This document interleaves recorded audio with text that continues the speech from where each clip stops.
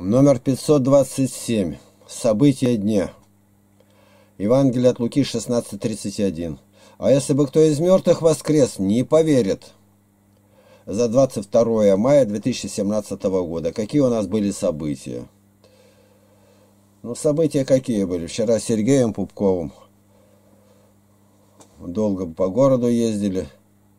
Провез меня получить деньги мне с Испании. Там одна получила книги, Ирма. Никогда их не видел, видно, что люди хорошие. И прислали 20 тысяч. Ну, куда надо, там помогите, то другое. Там мы поехали, потом уже после. Купили два, как называю, я даже не знаю, как правильно назвать. Там две и даже четыре есть конфорки, называют, где подогревать можно, и шкаф. Ровно 20 тысяч получилось там не добрали на 100 рублей. И за это сняли ролик, и он на нашем теперь сайте и в моем мире есть. Если у меня, ну, путь мой будет через Испанию, там название такое-то. Посмотрите, как мы в магазине покупаем. И, и все, говорят, нельзя в магазине снимать ничего подобного. Все, я сказал, даже не спрашивал никакого разрешения. И все и грузчики, как выносят, и как я деньги даю, и все это посылаем, и теперь там могут смотреть, и в Испании посмотрят. Вот. То есть мы даем отчет за то, что нам люди помогают где-то. Еще надо холодильники купить, тоже большие это деньги, может кто-то и даст. Мы тогда даем полный отчет. И стиральные хорошие машину надо купить, но это деньги еще больше нужно. Ну, у кого-то есть, могут прислать. Дать. Для них нам даете, детям и Богу. Нам ни грамма, ни копейки, ни одна. Я говорю перед Богом. За всю жизнь ни одна копейка мне в рот не попала. Даже в Америке был, ездил, меня мороженое не могли скормить ни разу. В дороге ездили, наши братья покупали, ели, я никогда в рот не брал даже. Это моя жизнь. Не то, чтобы хвалишься, что хвалиться я, как дышать.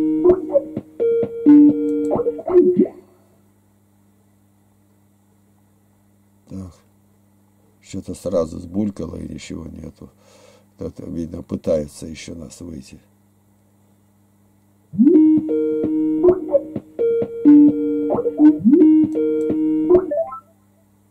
О, да неужели еще и видно будет? Ну, вообще удивительно. Вот так всегда делайте.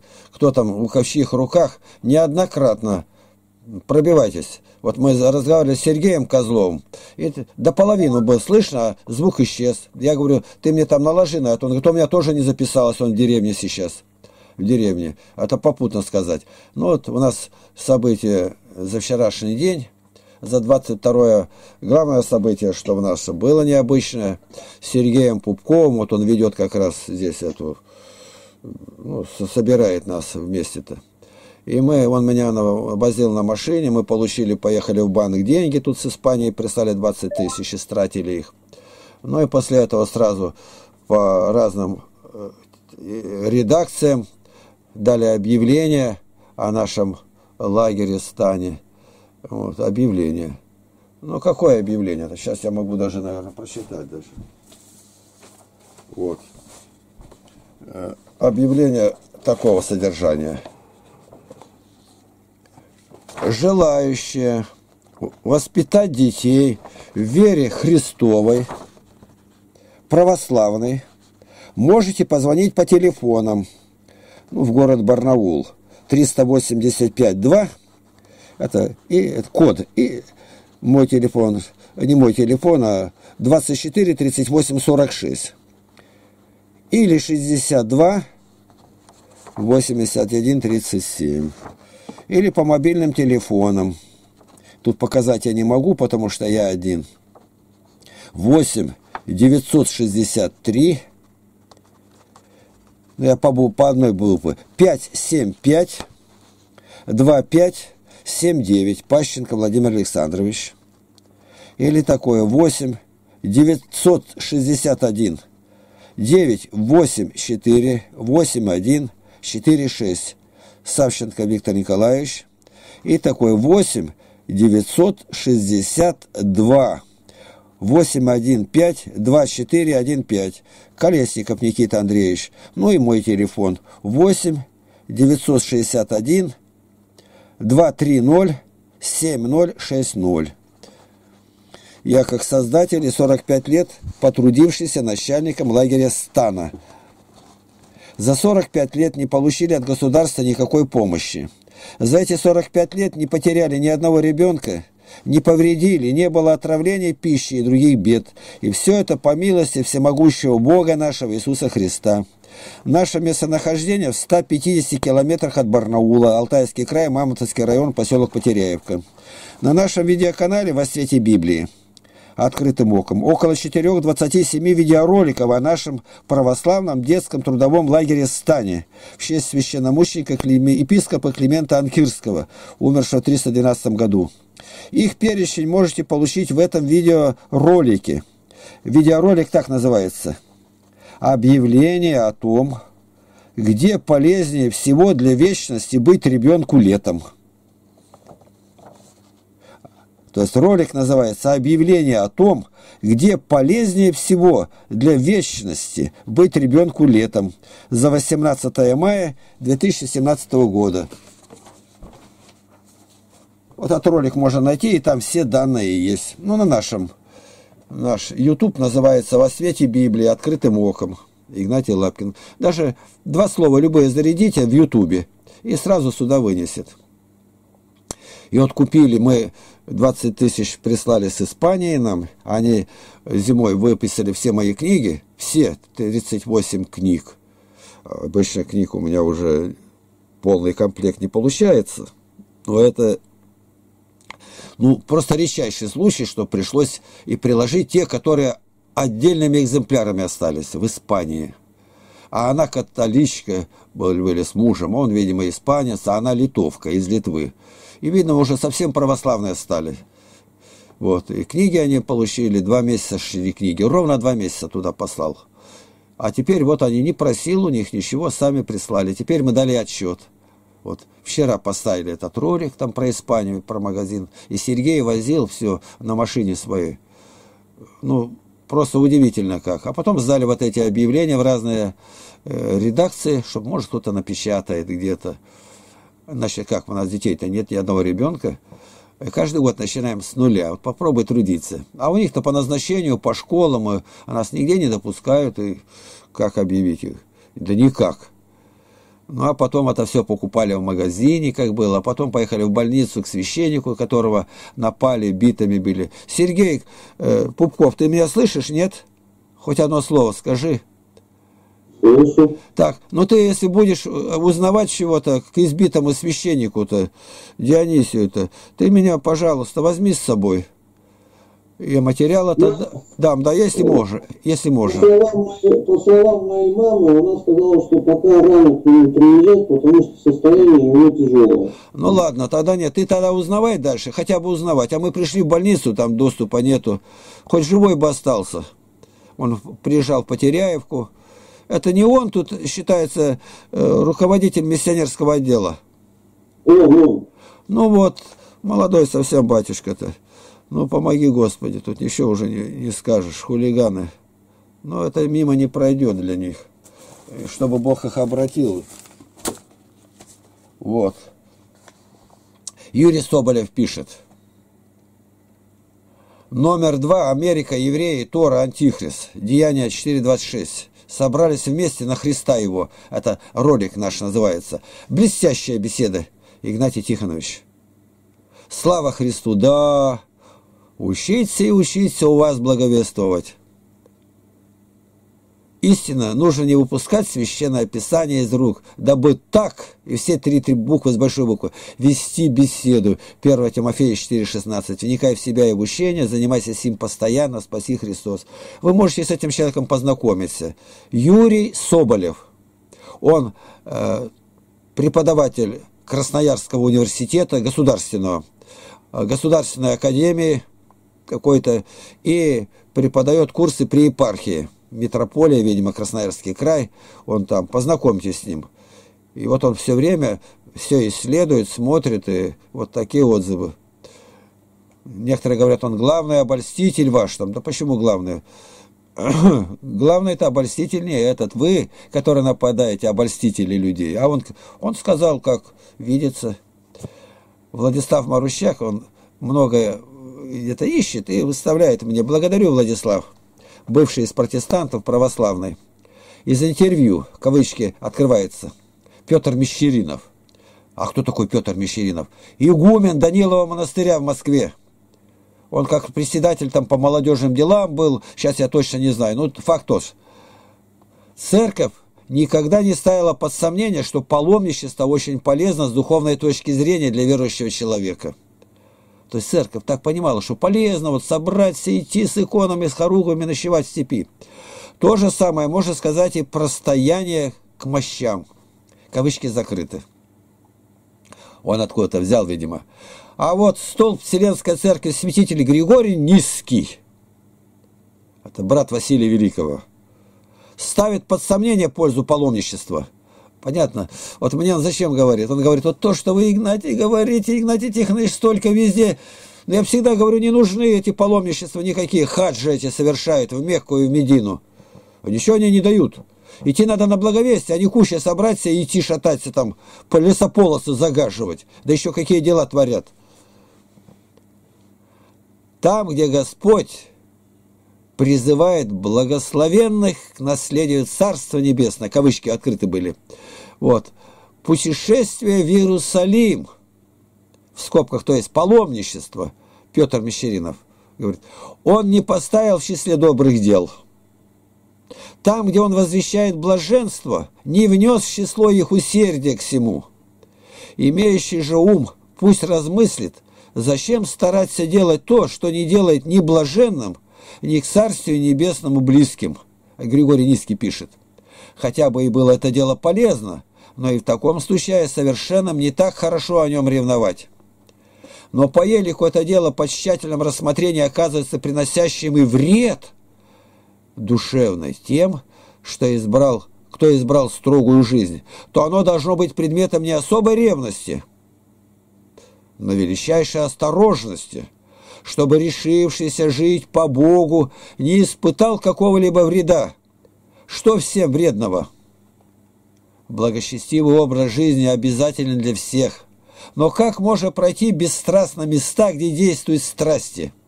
Да и что большего получит тот, кто побывает в этих местах, как будто Господь доселе телесно обитает в них, куда идут к местам икона чудотворная, а от нас удалился – или как будто Дух Святой обилует между иерусалимлянами, а к нам не может прийти.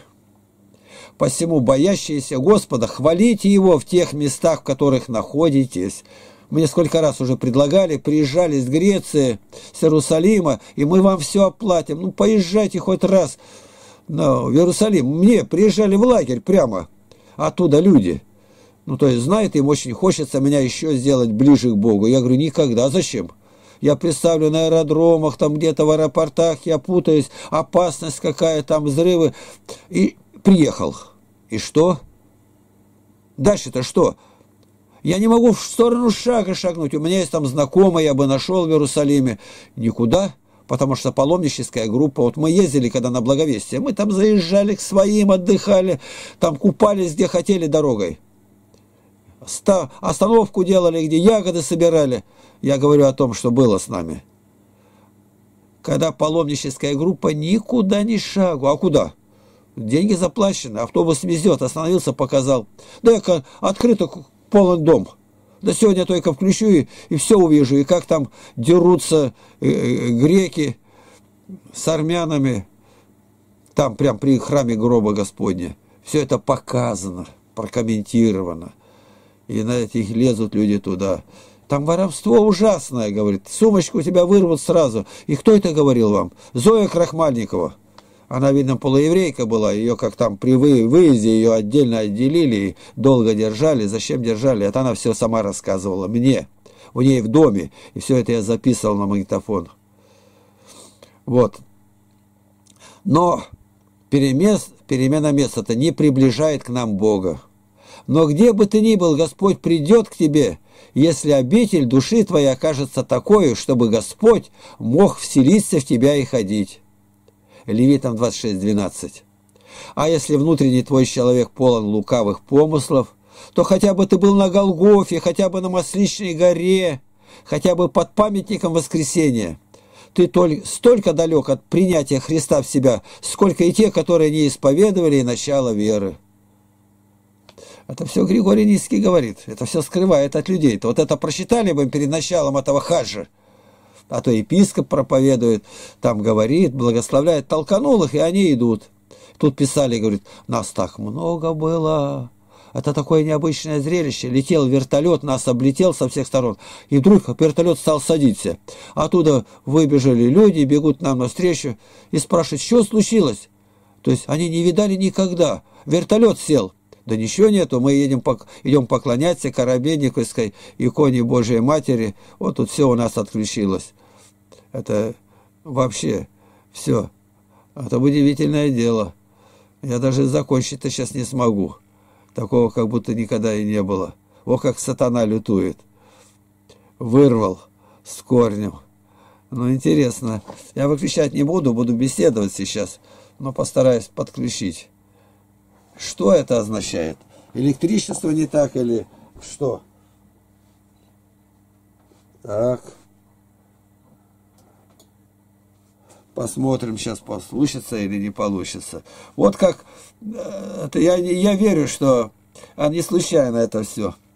Вот такое, чтобы во время, когда говоришь, и вот так прервало, у меня было такое, когда насчитывал жития святых, я стою перед окном, одно окно в барачном э, типа строении, 12,8 квадратных метра, и вдруг грохот в окно. Грохот. Еще я остановился читать, а потом почитал маленько. Ну, кто-то пришел, приехал к нам ночь. Окно одно. И тогда помолились мы с Надеждой Васильевной. Давай выйдем. Помолились. Может, кто приехал, замерзает. Кабылетом не открыл. Вышел. Перед окном сугроб.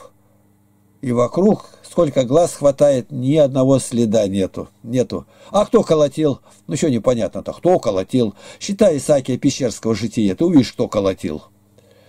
Вот так и здесь. Вот работаем здесь, и кто-то заткнул. Все. Вот, вот как оно включается, все. Придет или не придет.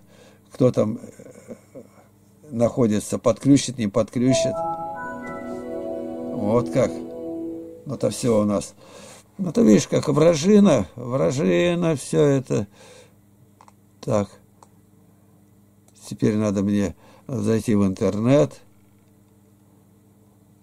Будет, не будет. Допуск. Сейчас постепенно будем заходить.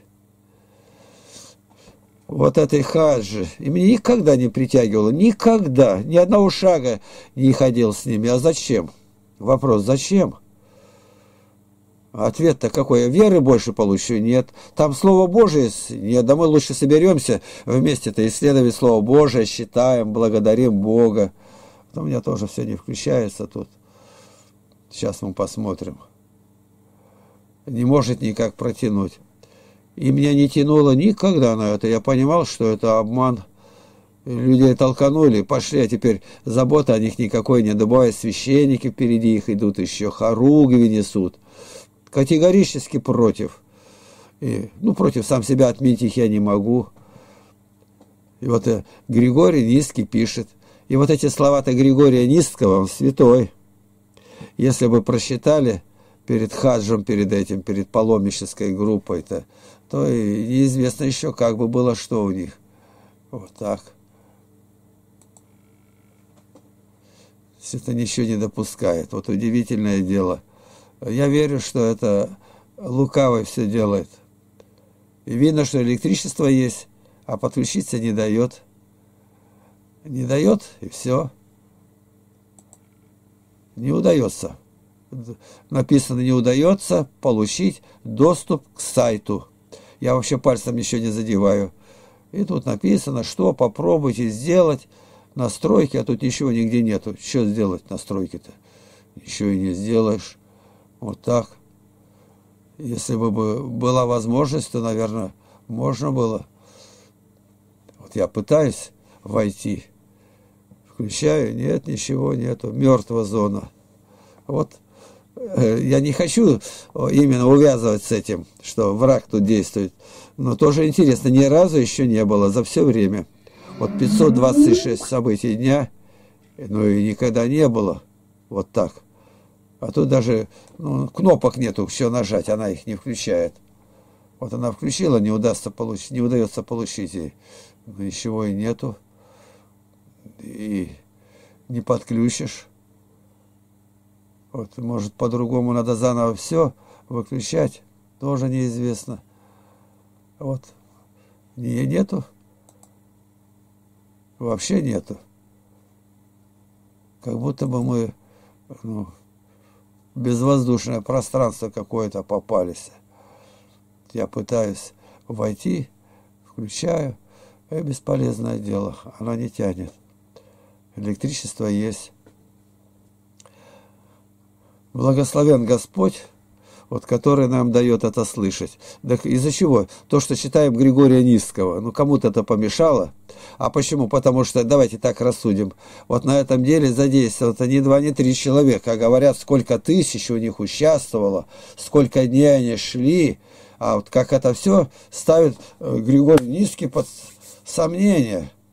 И, да и вред какой это приносит. Это Евангелие люди не знают, идут. У меня никогда туда тяги не было. Никогда. А вот больной батюшка попал-то, у нас тянет туда, прямо тянет, и нас не допускает, а мы колотимся. Вчера побыли, ну, нас развернули назад в краевой больнице. Он лежит там, я не знаю, гематома там у него, битые, говорит, били, а биты-то они там, это страшно, они, говорит, железные. Ну, из дерева из такого, наверное, сделано. Вот так. Фамилия не знаю, Дионисий, председатель миссионерского отдела, как вроде бы назывался. Вот, может быть, от этого его Бог освобождает, от миссионерского-то этого ложного дела. Ему это лишь бы смерти не было, а может и вывод какой-то сделать, его снимут после этого. С этой Господь его любит. У нас были хорошие отношения, он с архиереем Потеряевку приезжал, служил. Вот это уж я что могу сказать только. Дальше-то мне надо считать, а как считать-то? Оно только в интернетной версии. Вот говорят, я книги, ну что считать, книжка сейчас все в прошлом. Вот в прошлом, вот все кончилось, ничего нет, а книга-то на полочке. А я сейчас ее взял, положил машину, поехал, приехал туда, расположились где-то мы, и считай всей семьей. Считай. А сегодня, вот видишь, Никак нету. Но это, наверное, надо заново выключить или что, не знаю даже.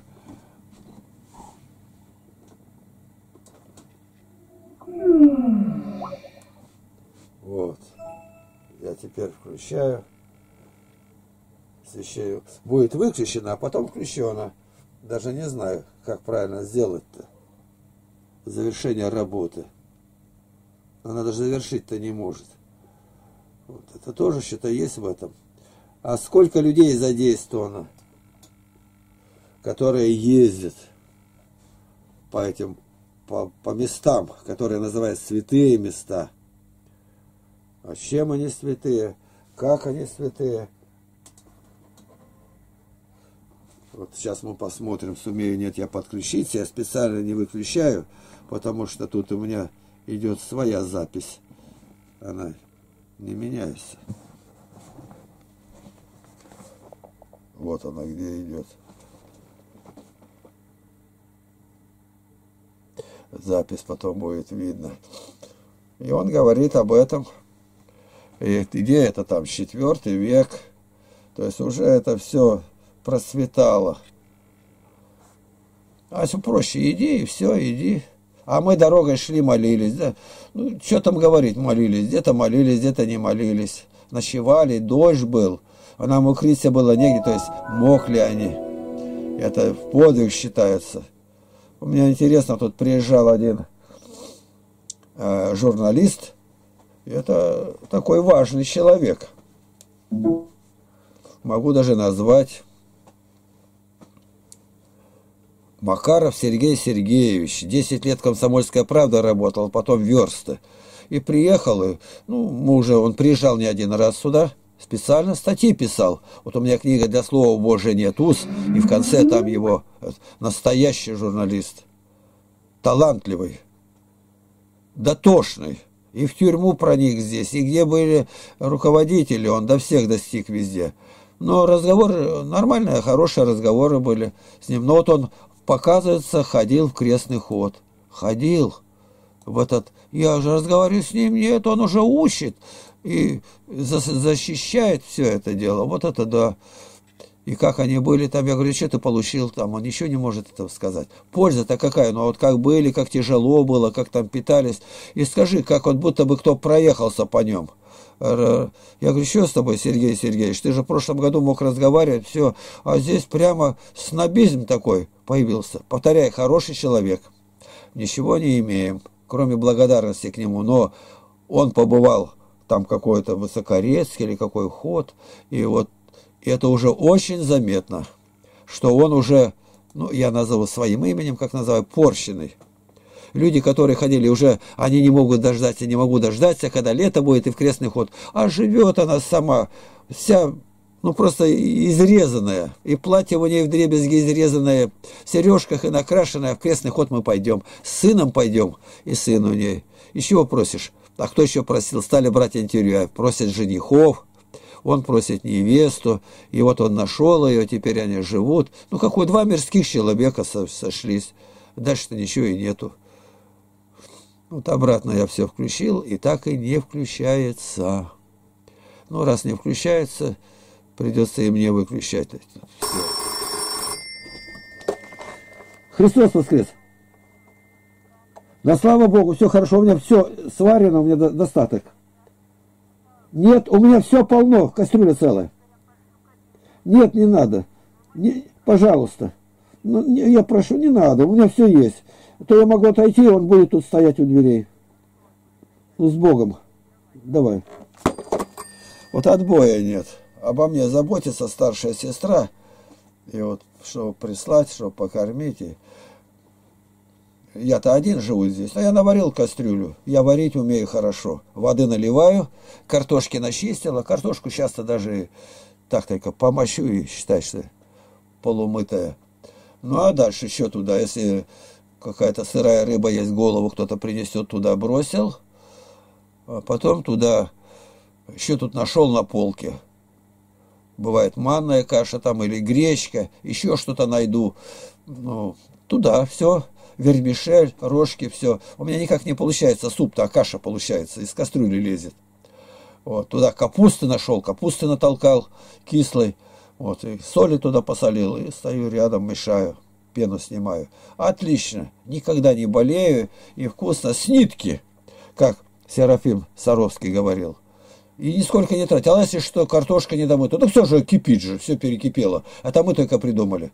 Ну а когда едим-то печеную картошку на костре-то там и руки у нас все, ну она же картошка-то вся как обгорелая, печеная.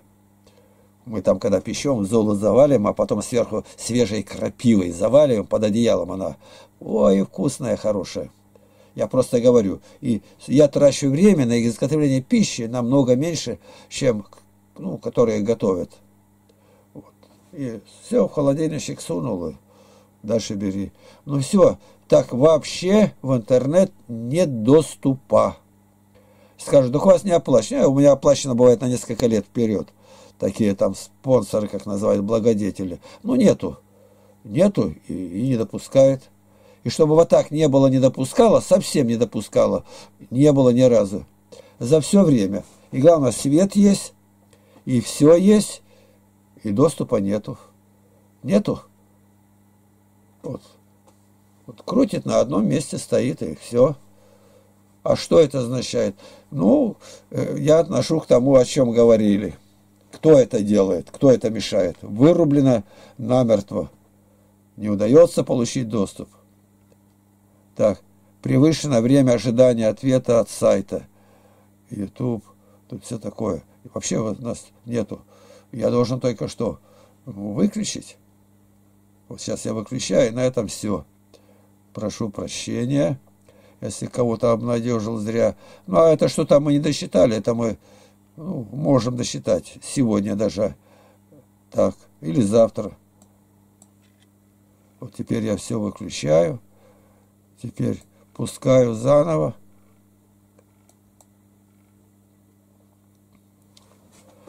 Так, что у нас тут? Перезагрузка. Дать перезагрузку? Нет, не возьмет. Ничего у нас дальше нету, перезагрузка. А попробовать там можно. Область. Удалить эти файлы, нужные файлы. Вот тут видишь как? Нужные файлы. Вот так. Перезагрузку дам, посмотрю, еще получится. Может быть. Нету. Никак. Область зарегистрирования документов. Закрыть программу. Два закрыть скайпа. Позволяет Windows. Программа не позволяет Windows перезагрузить. Ожидание. Скайп закрыть. Как его закрыть? Надо удалить эти файлы. Нужные файлы сохранены. Ну, нажимаю. Вот тут. Чего она не дает закрывать-то? Закрыть скайп, а как его закрою? Я даже не знаю, как его закрывать. Вот тут теперь опять завершение работ, перезагрузка. Даст или не даст что-то мне. Неохота уходить, бросать. Завершение работы. Вообще доступа нету. С чем связано? С моим компьютером. Ну, главное, не раньше, не позже. Вот на чем я когда сидел в тюрьме, и в это время там работники, везде динамики, чтобы работали, в каждой камере. И они суетились, ставили, что не знаю. Ну, выступление Горбачева, там о перестройке будет говорить, важное, 86-й год. Вот он будет говорить, а я стал на молитву и стал считать псалтырь. И думаю, как только он первое слово раздастся звук, я посмотрю, ну, как бы, какой стих в это время я считаю? Кажется, 33-й псалом считал, и, и там говорит, вы говорите, но ничто не сбудется. Вот такая мысль. До того удивительно. До того э, я сразу это принял за основание, что что они говорят, перестройка, ничего у них не получится. Перестраивать нечего, развалины лежат. Вот в тюрьме даже, и там можно работать. Ну и стали беседовать там сидели со мной важные люди, преподаватель космонавтов Лозин Анатолий Максимович. Ну, вот так. Сейчас я попробую еще раз.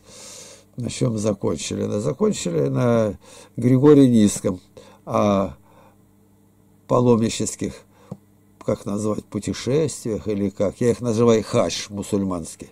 Он ничем не отличается. Точно так же эти идут в одно место, но идут-то куда? Хары, если бы сказали, они идут, а то границу надо облететь с иконой. Ну, совсем не тем занимаются-то. Вот, то а доступа нету к интернету. Вообще нету. Ну, может, после будет.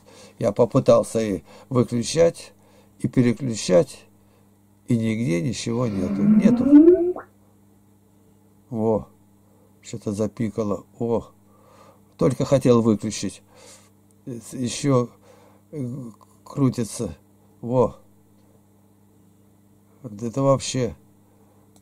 Но все равно нету. Никак не появляется. Ничего нету. Почему нету? Вот тогда попробуем еще разок. Вот так может, прорвется где-то. Если бы внизу появились, вот в самом внизу, ну, там данные где, я знаю, что переключать, а вообще ничего нету. Не удается получить. Вот и все. Не удается получить. Не удается получить нигде. Вот так. Канал. Все закрыто. И поэтому книги нужны. Вот электричество отключат, и ничего и нету. Ничего не, не сможешь сделать. А что ты сделаешь-то? Ничего. Вот так, все, выключаю.